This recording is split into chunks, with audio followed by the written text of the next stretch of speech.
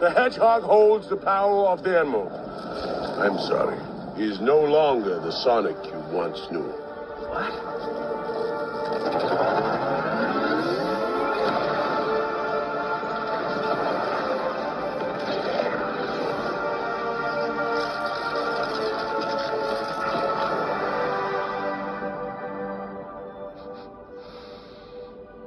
Yeah.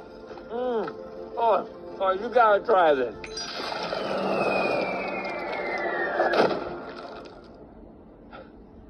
Okay.